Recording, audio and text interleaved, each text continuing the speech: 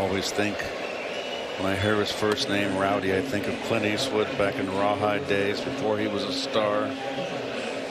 Rowdy Yates.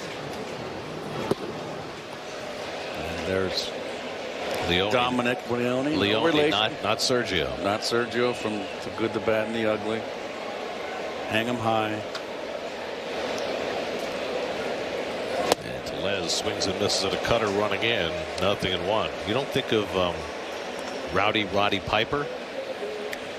Um, I, I you know I forget about him.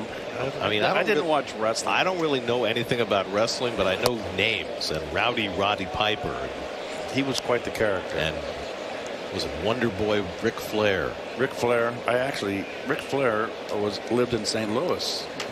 Nature Boy Ric Flair. See, I, I really I don't know that much about wrestling. He had the suplex. I'm sorry, the what? The suplex. What is that? That was his out pitch right there.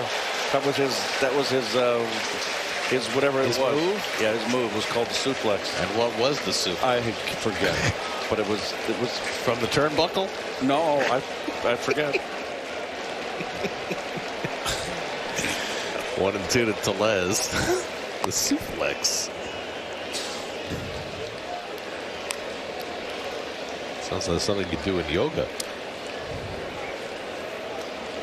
Well, if you have an upset stomach, something you can take.